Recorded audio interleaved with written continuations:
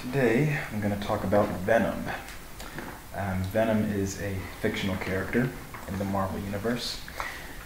And in the Marvel Universe, he's called a, a symbiote. So he's this creature from outer space, and he can merge with your body. He goes inside of you, and he creates a sort of symbiotic relationship with his host.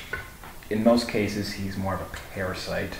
He, he does grant tremendous strength and great power, but he also sort of, at least in the movie that they made just this last year, he slowly consumes the insides of the person. So uh, first he'll eat whatever food is in your stomach, and if that's not enough, then he'll slowly start to eat away at your organs as well.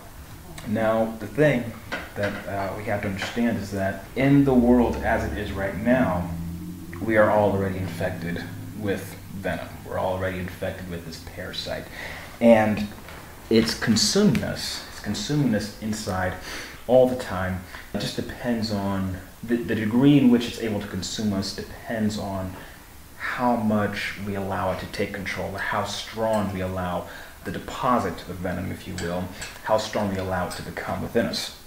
Now, one of the things that they pointed out in the movie that they made was that as he is developing inside of the host, the host obviously gets a very large appetite because he's eating their food. Now, spiritually, we can see this with humankind everywhere. As time has gone along, it seems that we have developed not necessarily an appetite for food, but there's been an increase in the spirit of greed, discontentment. We always need more of something. We always have to take more of something. If you think back to a couple thousand years ago, if someone was going to build a house or make a boat, yeah, they went and they chopped down the amount of wood they needed. Or if they were going to go out and um, get food, maybe it was an animal they were going to kill they would get what they needed. It'd be like one deer would feed a whole family for a year or so. They, you know, they freeze them of it. They would take what they needed. Now, as time went along, we developed ways to store it more deer. So we have better freezers. So what do we do? Well, instead of just getting one, I'll get ten. Or I'll get all I can and store it all up and not even eat it for a while and now I, I, can get more. Now we have better ways to cut down trees. So what am I going to do? Let's go and take out a whole bunch of them instead of what we need. It's funny how right now there's this pervading idea that there's too many people on the earth. There are so many empty houses. There are so many houses for sale. There's so much land that's not used. How are there too many people? There's too many greedy people. That's the problem. There's too much of this venom that is eating what we have is eating our contentment because we're allowing it to, and so we want something outside of us, and we have this insatiable appetite to get more. There's too much of that. There's not too many bodies on the earth. There's too much of that mentality to where I need more. I've got to get more. There's too much of that. Now, in the movie, one thing that Venom does for this particular person, Eddie Brock, who's the, char- the main character, is he's not always visibly present. He's usually just inside of Eddie, and Eddie can be Eddie for most of the time. Now, when conflicts arise, then Venom takes over. Then Venom is visibly seen. He, you know, he turns this great big monster, and he's covering all of Eddie, and you see Venom now, and now he'll eat you or do whatever he's going to do. Now, the thing that I want us to realize here is in the movie version, this entity becomes visibly present during conflict. And if you look at the trend of, of the world, there's always a period of conflict. Or, in other words, there's never a period of time that does not have some conflict. And as we come to the time that we're in right now, there's conflict all over, all the time. The stuff that we were hearing about in Syria, the whole Syrian war, that's not over still happening. They're not broadcasting it as much, or maybe we're just not listening to the news as much. But all these conflicts are continuous. And these are things that are bringing him up to where he's going to show himself physically. Now, on a personal level, because it, it happens on a global level, but on a personal level, we have to think for ourselves what situations do I get into that cause that spirit to come up, that cause Venom to show himself physically, if you will. Now, in our world, we're not going to, at least the majority of us, are not going to transform physically and look like venom when we're in a conflict. But the spirit that is within us, there's something that comes up and begins to take over in a sense to where you might say something that you weren't really thinking about or do something that you weren't really thinking about. We talk all the time about how it seems like today people go crazy and shoot someone over the smallest things. Someone honks you, there's a dirty mattress that you want in an alleyway, a five year old is kicking the back of your chair, someone took your seat in church. Tiny things, and people are allowing this spirit to be to take over, and they're doing things that they regret because they weren't really thinking about it. And this is the spirit that's coming up. Now, with most of us, it's not to that extent. But the more we allow that spirit to influence us and practice having power over us, the more power it's going to take in the future. So we want to avoid situations that are going to cause it to come up and take that control. I want us to go to 2 Timothy for our first scripture, just to touch on this concept of conflict. This is what is bringing the venom, if you will, to the forefront. 2 Timothy chapter 2, we're going to read 23 to 26.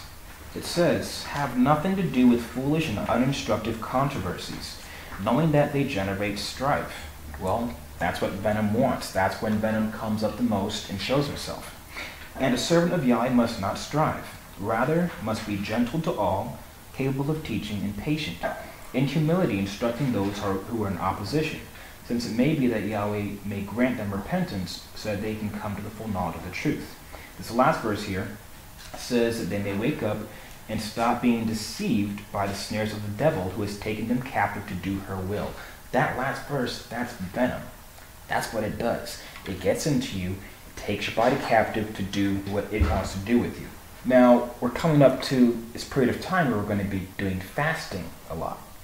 And that is something that helps in sort of a roundabout way because with fasting, you're going to be hungry and there's going to be more opportunities for Venom to show its face, for Venom to manifest itself and you to become angry. Now, the trick here is when that happens, you're taking that opportunity to attempt to exercise control over the symbiote. You're not just doing it so that, well, I get angry more often and Venom comes up more often. Well, no, because that's just going to make him stronger. So you just don't go through it mindlessly. You go through it in a way to where you're saying, okay, I know that he's going to come up, but when he comes up, I'm going to be battling him. This is going to help me to get control over him. Because if I don't do this, I don't get any stronger myself. And if I don't get stronger, then I can't beat him when he does come up. He's going to come up at some point, whether you fast or you don't fast. But if I don't train for when he comes up, then when he does, I'm not going to be able to do anything about it. So I'm going to make him come up on my terms. I'm going to set a day to fast. Then when he does come up, I'm going to battle him. And I might lose, but I'm training. I'm trying to become stronger. I'm going into the battle with the mindset that, okay, I'm going to do whatever I, have got to do to make sure that I'm on top of this. I might fail a few times, but I'm being proactive in trying to take control of the parasite that is within me. Now, there are two major weaknesses that Venom has um, in the Marvel Universe. One is that he needs a host. So in the movie, the symbiote cannot survive in Earth's atmosphere for very long. It has to get into some sort of body that is functioning on Earth.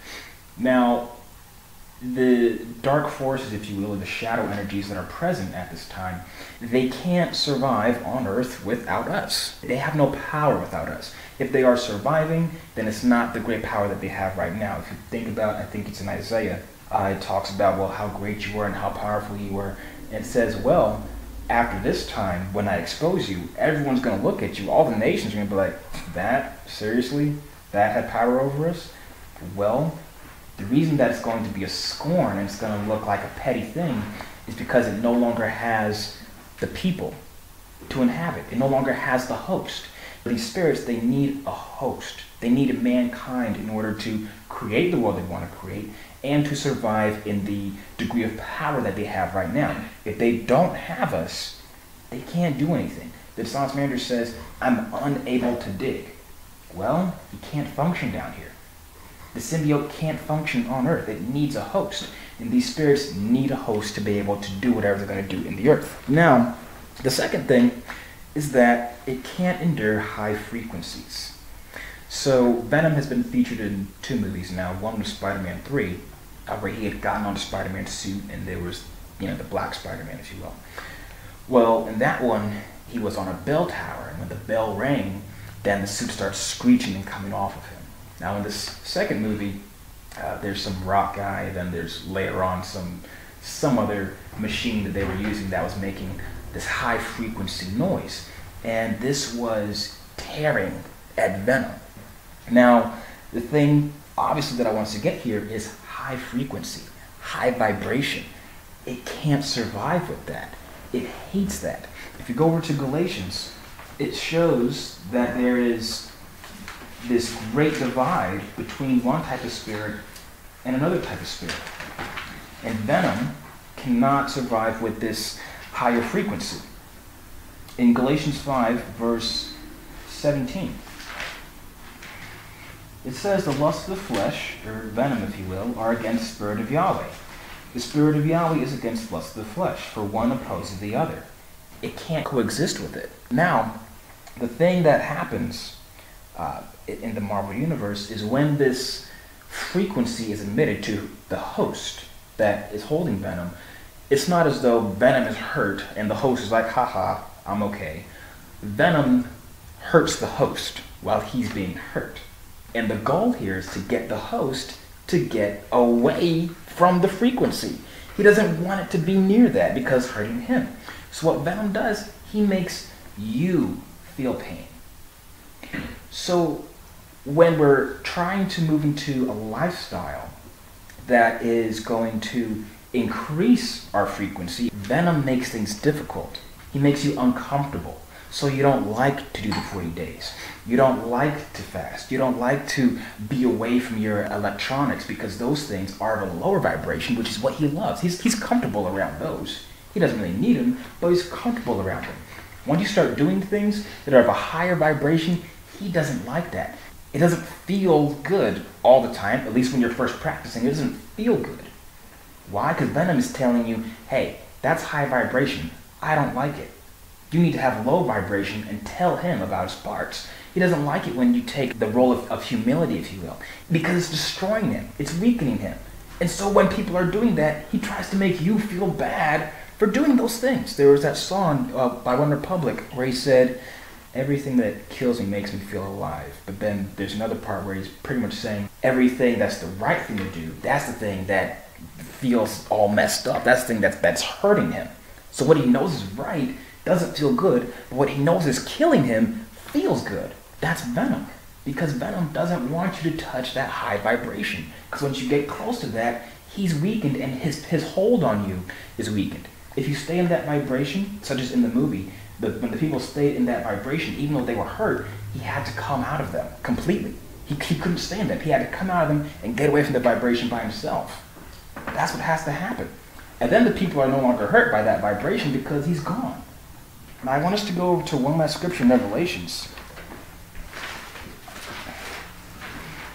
If this didn't hurt, then it wouldn't require any effort.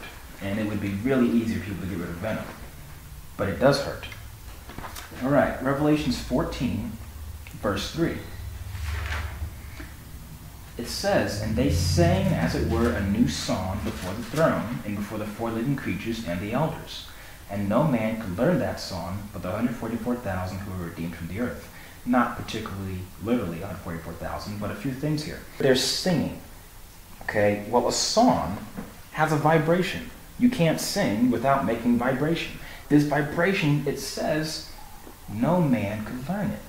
Well, what does the scripture say about general mankind? It says wisdom called aloud in the street, but what did mankind do? Nobody wants any part of it.